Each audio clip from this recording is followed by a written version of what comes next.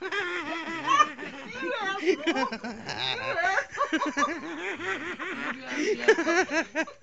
actually fell over.